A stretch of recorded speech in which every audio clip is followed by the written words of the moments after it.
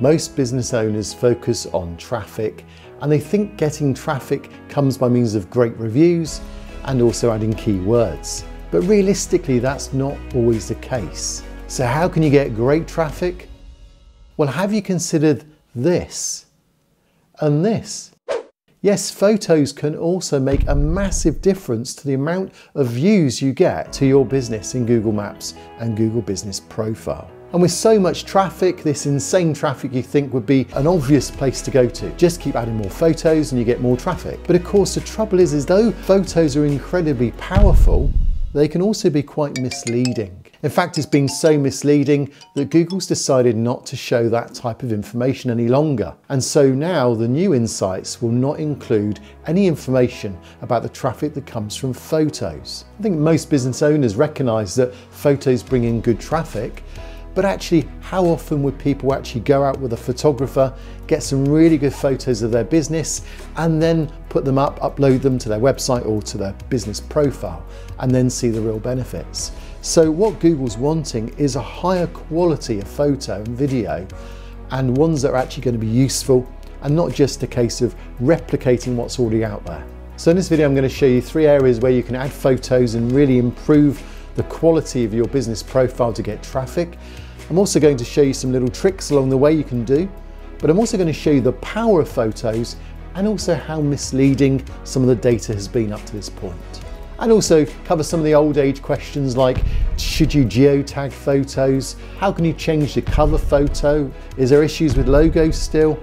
And where do you add keywords to your photos? All these will be covered in the video too. Let's take the first section really of it being misleading. Why is it you get thousands and thousands of views and yet still no one calls the business? Well, this is where Google recognizes that actually photos are misleading. The reality is, is what Google says is counted as a view on a photo isn't generally a person clicking on the business and then making an inquiry. And Joy Hawkins recently confirmed that it appears that Google isn't going to be moving this over to the new business insights. But you can still get information. You can still get that information now if you want to. You can shortcut into the old insights by going to your products. And once you click on products, if you come out of that, you then get into the old dashboard. That's still available for most of us. And from the old dashboard, you can go then to your old insights and there you can see how the photos were and the types of statistics that were available. But I think we all agree that makes sense. We don't want misleading information. But for the majority of this video, we're going to concentrate on how powerful photos are. And they can still be a massive way to get traffic to your business in this coming year. So at this point, let's just ask three questions to consider for the next time you upload a photo. So if you've got some photos now and you're thinking of uploading them, then ask these questions. Question number one, are your photos of the highest quality and are they inspiring to potential visitors? Maybe to ask someone to see whether that's the case. The second thing is how does your photos compare to the competition? So just look at those above you, see what they're posting. Are they being rewarded for a higher quality photo? When we speak about higher quality, it's not just about the amount of pixels involved or the quality of whether it's HD or 4K. We're talking about the actual way in which you focus on the information of that photograph. So what's actually the central focus on that photo? And finally, how does Google understand your photo? Yes, we're going to see that Google is pretty intelligent. It knows what the photo is about. It knows far more information about the photo than probably we even consider ourselves. So first of all, are your photos of the highest quality? Well, what type of quality are we talking about and what are the guidelines from Google? Well, here you can see the various formats, the types of sizes, the recommended resolution, which isn't particularly high, but of course you want that 720 pixels you want that based on the most important part of the photo. So you may need to crop it to that. And then also the quality of the photo. It says that the photo should be in focus, well lit, have no significant alterations or excessive use of filters. In other words, the image should represent reality. So what's Google meaning by this? It just wants genuine photos. So don't take uh, rip-off photos from other companies or using, say, stock photos is not going to be helpful. It wants the reality of your business. So just go out with your camera. You can even use your phone itself, as long as it's got a good autofocus and take photos. You know, one of the best photos you can have uploaded though is not your photos, but photos from your customers. So when you do ask for reviews, ask your customers to also take photos, particularly if it's something that's photographic, that would do well on photos, get them to take a photo, and they can upload a photo when they do a review. And that's the one that's going to really bring in the traffic. Google really rewards that at this particular time. But also when you think of your photos, do they give emotion? Do they inspire? How do people feel when they see it? Often expressions on people's faces, that can make a big impact on the photo itself. And you just think if you're particularly a restaurant, then you want to take photos of the food, the meals, things that are going to make people hungry. They're then more likely to click on your restaurant or your burger bar. The second area we looked at is how do you compare your photos to the competition? Well, at the end of the day, you're trying to attract customers. So you need to think of your logo, get the cleanest version of that logo, and if you can fit it within a square, that's even better. Also, when you think about your customers, what would actually attract them to the business? What's currently working for your competition?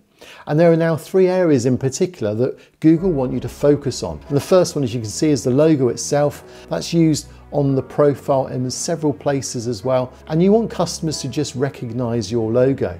So is it colourful? Do you have a high quality version of it too? Can you use it perhaps in other areas of your business website so that it integrates well? Then you've got your other profiles, your social profiles like Facebook, Instagram, Twitter. So that should be a consistency, that logo. That should be part of building your brand consistency. Now the second area is your cover photo. It says there set a cover photo at the top of your profile that best represents your business. In some instances, this action doesn't guarantee the cover photo will show up.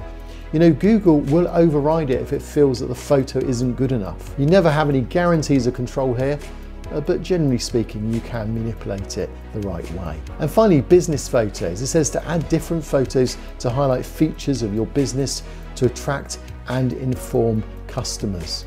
So you notice all the time Google is interested in attracting customers through the photos.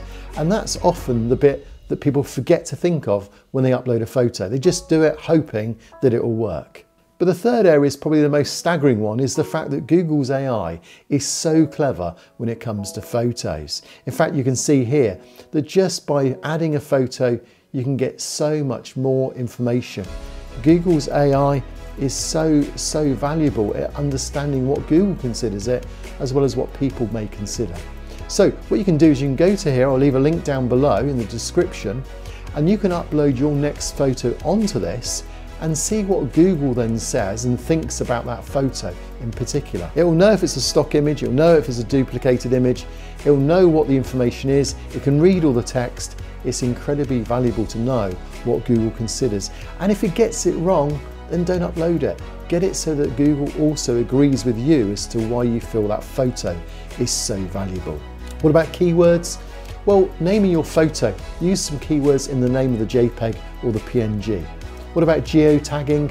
Geotagging, as much as it can still be used in other areas uh, on website and SEO, as far as Google's concerned, it's not using the geotagging anymore. So if you don't use geotagging, don't worry about it. If you do, at the moment it seems to be stripping it out. But earlier in the video I mentioned the importance of also having reviews to get great traffic. So don't miss this video because that will show you how you can get even more reviews for your business straight away. I'll see you on that video.